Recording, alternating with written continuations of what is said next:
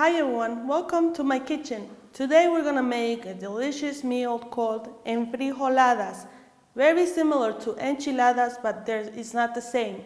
These uh, enfrijoladas have so simple ingredients, easy to make, and so delicious. So this is what we're gonna need. We're gonna need um, tortillas. They, they can be hot or cold, whatever.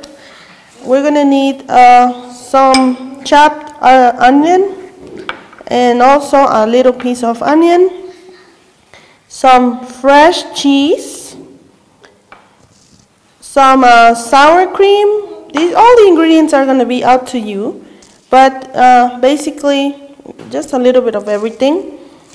I will need about seven or eight uh, chile. This is called um, chile de árbol. It's very simple. Uh, these are a little uh, like uh, very thin and very long chiles, chile de árbol. Some oil and some lard.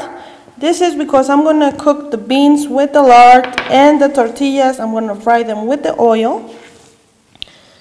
In case you cannot find the lard, you can use oil. It's only that the lard gives the beans a very nice uh, flavor. And also I'm going to need some beans. I already cooked the, cooked the beans here in the pot for uh, about 40 minutes.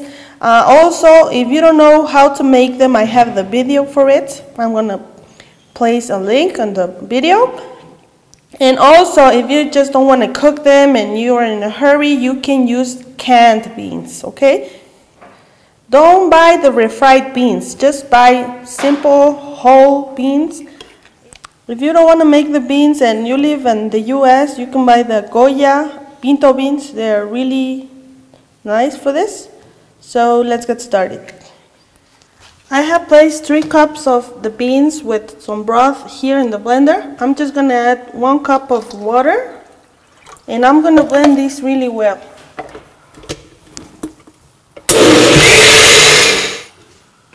Okay, so here in the pan I already turned on the heat and I'm going to place about one tablespoon of, of lard. If you cannot find the lard, use regular oil but this is going to give it flavor. After you have placed the uh, lard, I'm going to put some of the, uh, well, all of the chiles de árbol.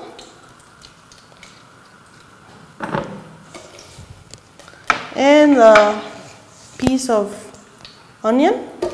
And I'm to fry this for about two or three minutes. Now that the peppers have cooked, you can see they the color changed a little bit. So after they uh, they're cooked, we're gonna add the beans.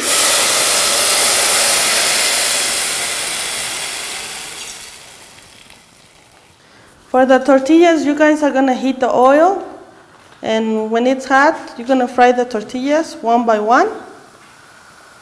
Just a few seconds each side and then just take them out and drain them take out the oil and then we're going to place them in a paper towel.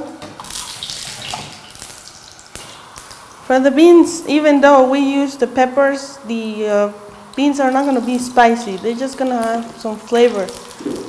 At this point you want to taste it and see if it needs some salt and I already tasted it it does need some of it so season your beans and when this comes to a boil, it's gonna be ready.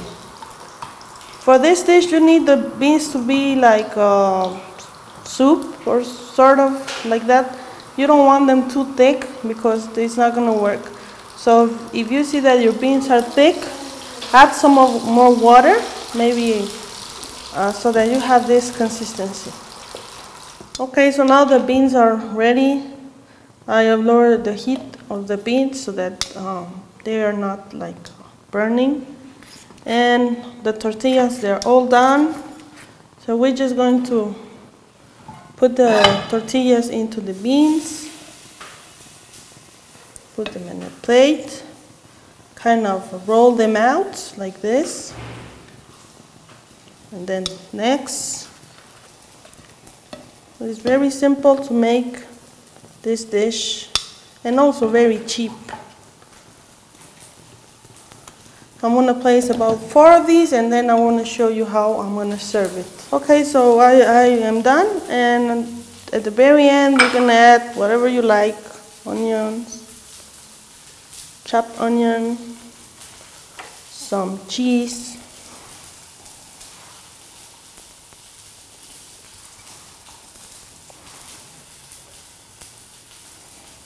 and at the end some sour cream.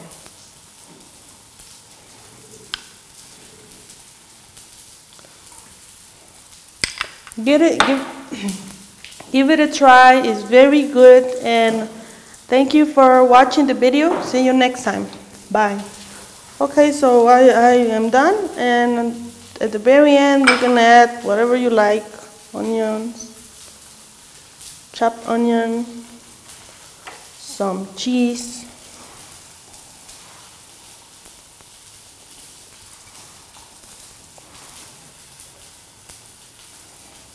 and at the end some sour cream.